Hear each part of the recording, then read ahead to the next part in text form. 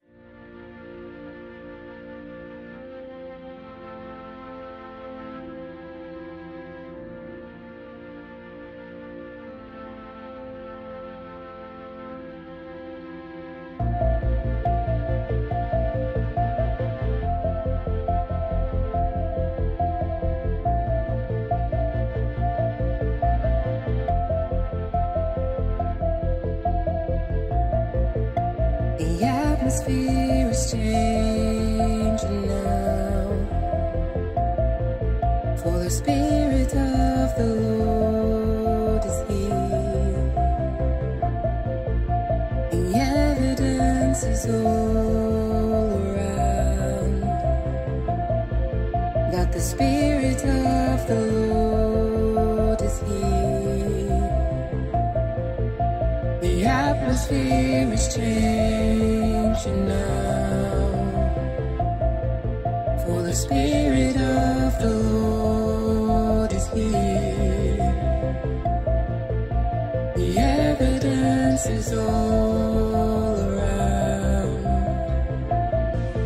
that the Spirit of the Lord.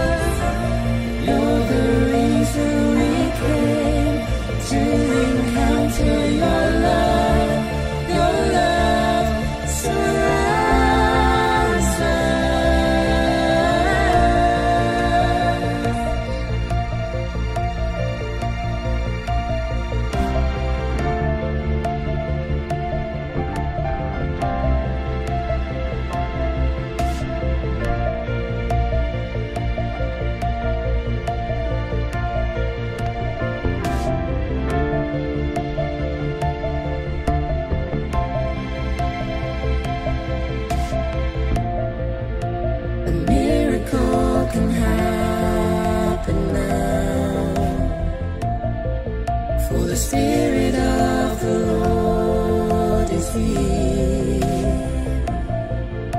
e evidence is all.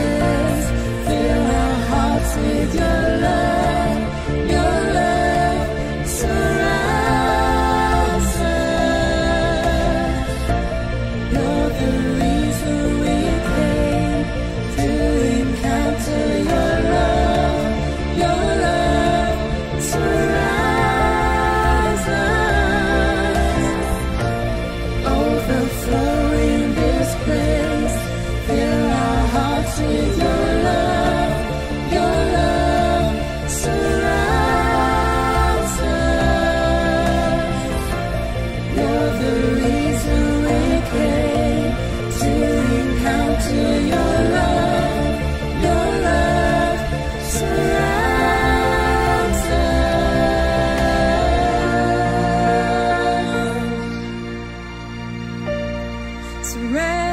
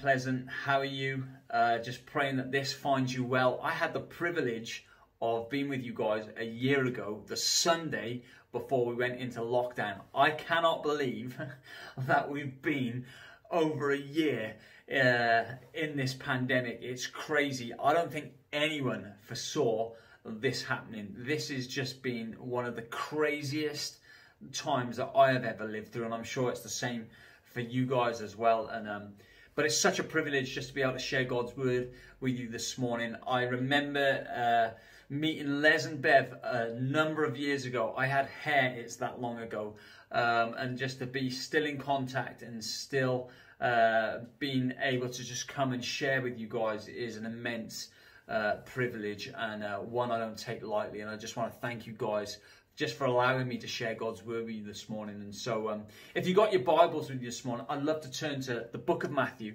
chapter 6. We're going to read two verses from there. It's Jesus' words because they're in red in my Bible, and it's verse 25 and verse 26. And it says this Therefore, I say to you, do not worry about your life, what you will eat or what you will drink, nor about your body, what you will put on. Is not life more than food, and the body more than clothing? Look at the birds of the air, for they neither sow nor reap, nor gather into barns, yet your heavenly Father feeds them. Are you not of more value than they? Let's pray. Father, I just thank you for your word. I just ask that you would just speak to us in these moments.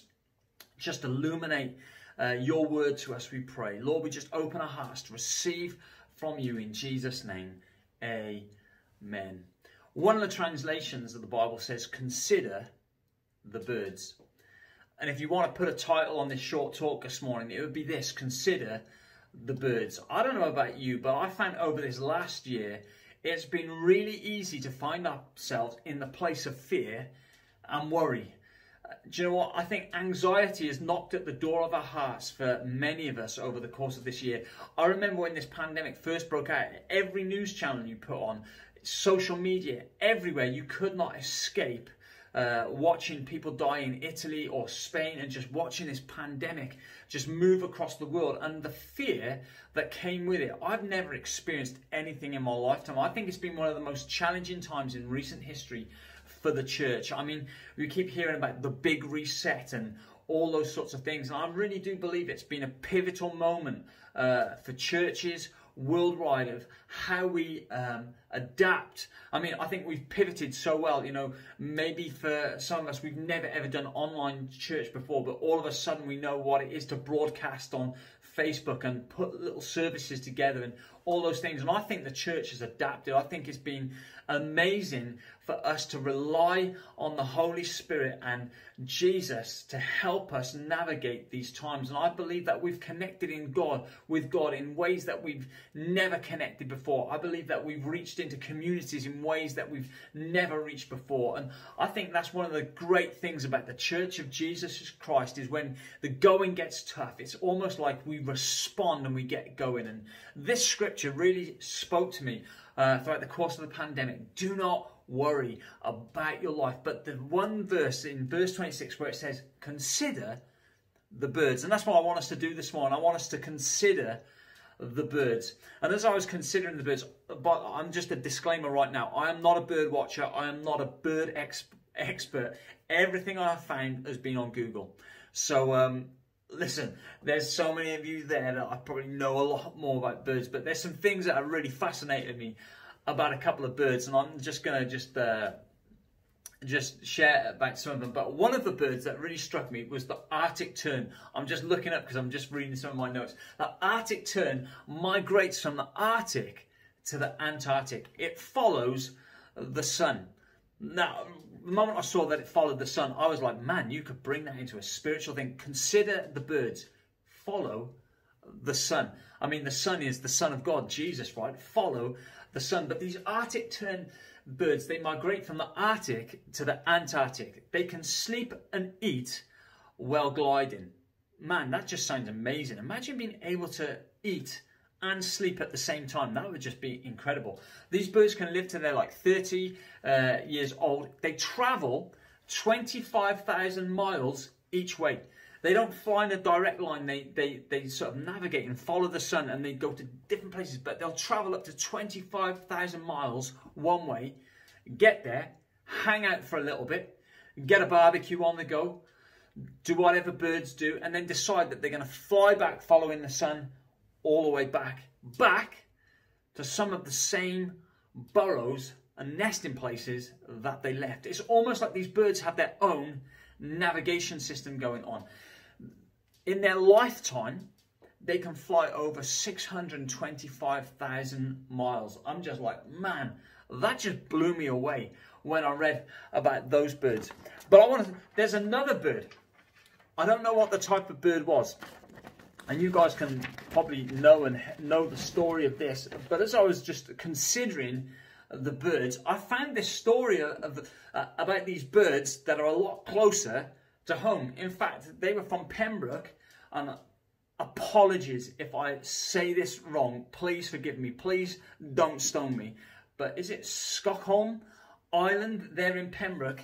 Uh, after the Second World War, this guy took a couple of birds from the burrows there, took them to a beach in Venice, and released them, and they beat him home. They beat him back to Pembroke. And so he was like thinking, this is a one-off thing. I can't believe the guy's name was Ronald Lockley. He's like, I can't believe this. This, this must be a one-off thing. But he met this other guy uh, years after the war, and they decided they were going to get these birds to America. They tried taking these birds on a on a ship, but they died on the way. Anyway, this guy flew um, the birds to Boston. As the birds came out of Boston, they released the birds and they flew over 12,000, uh, over 3,000 miles. It took them 12 days and they flew back to their same burrow, back on Stockholm Island. Birds have this amazing ability to navigate their way home. And I was just reminded what the psalmist wrote in Psalm 84, verse 5, and it says, Blessed is the man whose heart is set on pilgrimage. You know, there's something about us that is set on journeying. But not just journeying, that finding our way home. The birds have this ability to navigate back home. And I thought, you know what? Each one of us is like that. Most of us have spent so long in our home over this year. I don't know about you. I've never been so home so much. I can't wait to escape. I mean, the moment they released lockdown, man, I was out of there. I am out. I mean, one of the most painful things was the local lockdown where you had to stay local. It's okay for you guys and all your beautiful beaches down there. Some of us that are stuck in the city, we're just like trying to escape to the park and trying to find somewhere where it was like green. We just want to escape and get out. We've been stuck in home so long. But you know what? There's that saying in it, there's no place like home. And I believe that's true. I know some of us are sick of our homes at the moment. Some of us have done so much work in our homes over the course of this year. It's unbelievable. But there is there's that thing in each one of us. We're trying to find a place to call home. I don't believe that's just necessarily physically, but I also believe that's spiritually. I believe each one of us is on a journey to find our way home. Blessed is the man whose heart is set on pilgrimage. You know, throughout scripture, we see about finding our way home. We see that Jesus came from his home to us, live like one of us, to take us back to a place that we can call home. You know, in John 14, verse 1 to 2, it says this I go to prepare a place for you. Right now, Jesus is working on our house, He's building something for you and for me.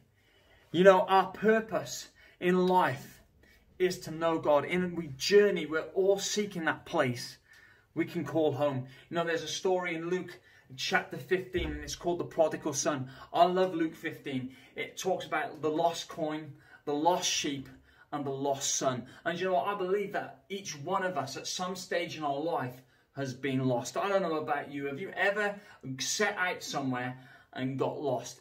It can be quite frightening. You know, it's okay nowadays because we've got sat nav, right? But back in the day when I learned to drive, we had a map, we had an atlas. I mean, it's unbelievable when I look at it now. I think, man, how did we ever get by without sat nav?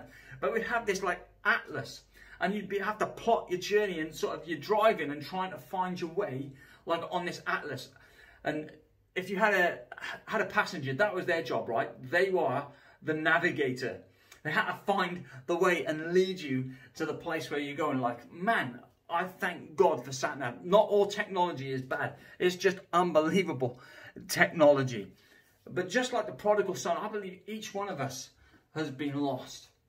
But the prodigal son, he comes to that point in his life and he just says, I need to find my way home. You know, I believe there's a, our nation is trying to find its way home. I believe our towns and our cities, our villages and our neighbours are trying to find their way home.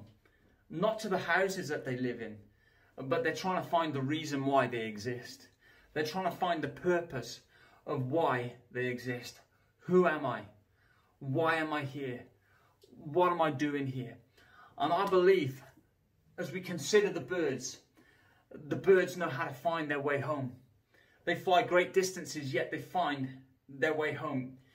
Here's the beauty that Jesus came to find us. He's never been lost. That always makes me chuckle when people say, I found God. He's not been lost. It's always us that are lost.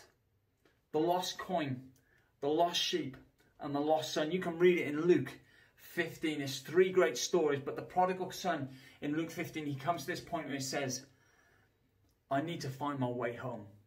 And I believe that our friends, our neighbours, the people that are around us are all trying to find that place that we can call home. There's that thing within each one of us, desires to find that place that we call home. You know, just like the map, many of us have been going in a direction, but it's been the wrong direction. Anybody ever been there? You set out, just like the birds set out to migrate somewhere. Yet we've got off course and we found ourselves in a place that we shouldn't have been in. Maybe we've ended up in the wrong relationship. Maybe we've ended up in different paths that we never ever imagined we'd end up in because we took a wrong turn. I want to say to you today that you can find your way home, that there is a, a thing within each one of us that is yearning for God. I call it the God shaped vacuum. You see, I believe that we were intelligently made by an intelligent creator. We're an intelligent design. I believe there's a God shaped vacuum in our lives that only God can fill, and we won't find happiness, we won't find peace, we won't find true joy, the true meaning of life until God fits that hole that is in our lives. And I believe that's the God shaped vacuum. I believe that some of us are journeying through life, we're just headed in the wrong direction. And this morning, or this afternoon, or wherever you find yourself watching this, I just believe that God wants to show Himself to you. I just would encourage you to pray a dangerous prayer.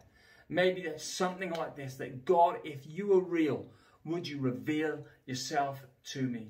You know, we're moving, but sometimes we move in the wrong direction. There's nothing worse than setting out to go somewhere and ending up at the wrong place. Anyone ever done that? You set off on a journey and you end up in the wrong place. You were moving, but you were moving in the wrong direction. Anybody ever done that? You were supposed to be going south, but you headed north. And you know what? I believe our lives without Jesus are just like that. We're heading in a direction, but we're heading in a wrong direction. Jesus in John 14 verse 1 to 2, it says that he went to build a mansion for us. And the disciple says, But how do we find our way? And Jesus says, I am the way, the truth, and the life. Consider the birds. Matthew 26, it says this Look at the birds. For they neither sow nor reap nor gather into barns, yet your heavenly Father feeds them. Are you not of more value This morning, I just want to remind you that you are valuable to God, that you are precious to Him. One of the beautiful parts of Luke 15 is this is this, the prodigal son decides to return home. It says that while he was a long way off, his father saw him and he ran to him.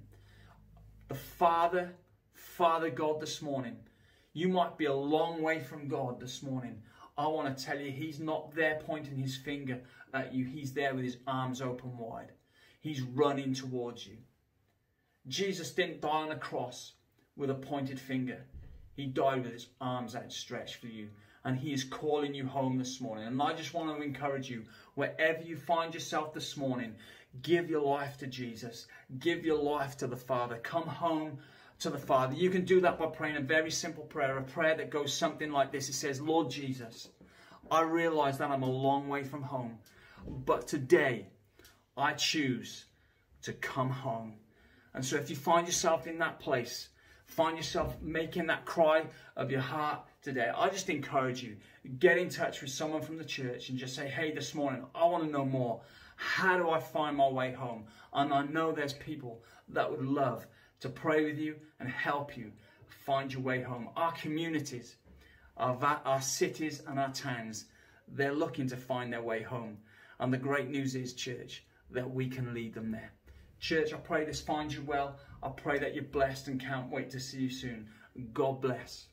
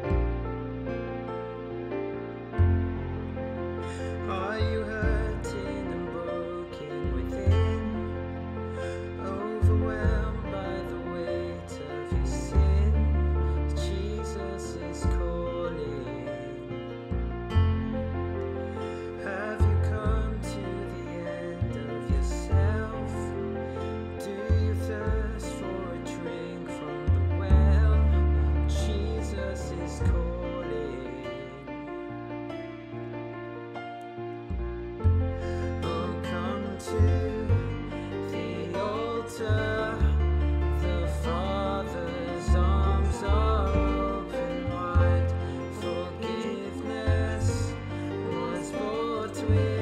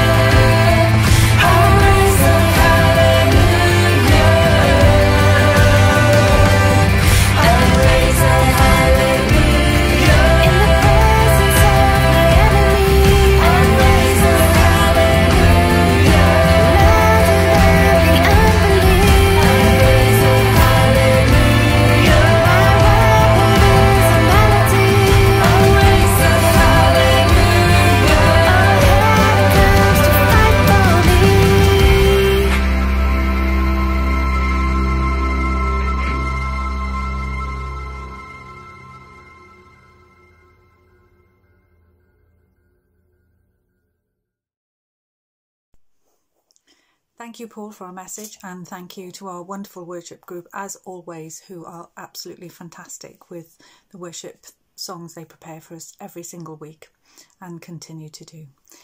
I want to return to Paul again. We've got a theme of Paul's today, and I just want to end uh, by praying the grace which Paul taught um, in Corinthians, in 2 Corinthians um, chapter 13. And I think that everybody is familiar with this prayer, but it is so important and so powerful. So I'd like to close in prayer. May the grace of the Lord Jesus Christ and the love of God and the fellowship of the Holy Spirit be with you all. Amen.